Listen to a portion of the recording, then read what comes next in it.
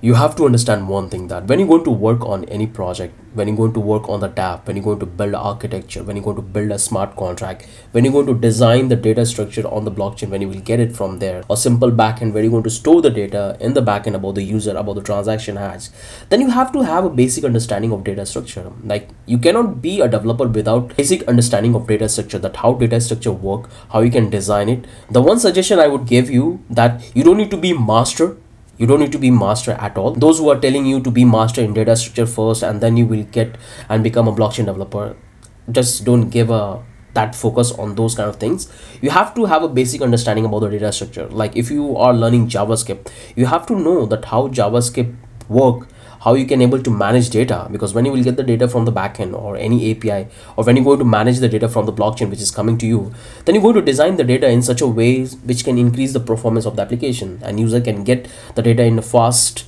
and uh, that, that data they actually wanted. So in that way you have to have a basic understanding of data structure in JavaScript only that much understanding is sufficient for you to start your learning. You don't need to sit and start focusing on data structure learn about the curve learn about the algorithms. You don't need to do that. If you go in that way the process is very long and you will be in huge mess because you will learn when you will actually develop a real world project. It doesn't matter how big or small project is. When you will develop when you're going to apply those formula those technique which you are learning then you will build and then you will learn. Then you will get confidence to work on any project whatever you are building try to understand that how data is flowing how the data structure is designed.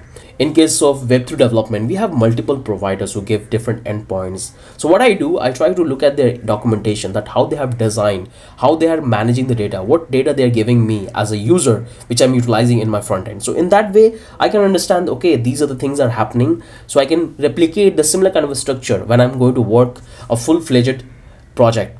So in that scenario you have to know. Ultimately you have to be smart you have to be smart. If you know how to figure it out then definitely it would be easy for you. And that's the most important thing. You don't need to sit and write every single thing from scratch.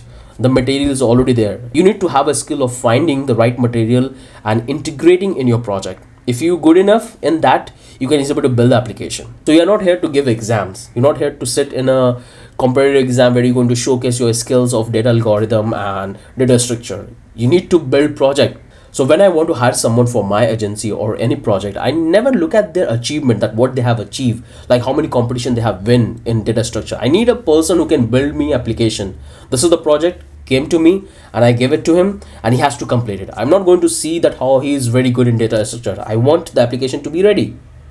So you have to be ready to build project the more project you will build the better understanding you will have. And once you have these skills you can easily able to understand this. Like this data structure and all of these big names is there to confuse you because you are a beginner. You don't know about it. That's why you're talking about that i'm learning data structure dsa algorithm like a lot of things you guys talk about but it's all comes down to the same thing. So try to understand what you are building. Once you start doing that everything will become clear to all of you guys. You have to pick one language and if you really want to become a blockchain developer then JavaScript should be your first choice. It's a multi-purpose language you can utilize in all the Web2 technology as well as Web3 technology. If you look at all the providers which we use as a Web3 developer for getting data from the blockchain if you talk about the packages if you talk about the EtherJS Web3 module all of these packages are written in JavaScript which you can utilize to connect with the blockchain and get the data. And you can design your own data based on that. So you have to be good in javascript. Once you be good in javascript the entire development would be very easy for you. Very easy for you. So so this is how you have to focus on your learning. So pick a language understand everything give two months. Don't need to be master. Just understand the important structure which is there and start building project when you go to build project you're going to find that okay you can do a lot better. So you will improve gradually. You can never be good in one go. Like you will one day you will complete the course and you will think that i'm the best developer in data structure. That's not going to be happen. You will you will learn when you will start developing. That's how the experience you will gain and that's how your understanding will come up. So that's the way you have to think okay? Those who are telling you that you have to focus on dsa dsa go and solve question in LeetCode don't focus on that. You are a beginner the first priority you should have to understand that what is blockchain pick a programming language learn about it build a project. When you start building the project after that you will come to the performance then you're going to focus on data structure.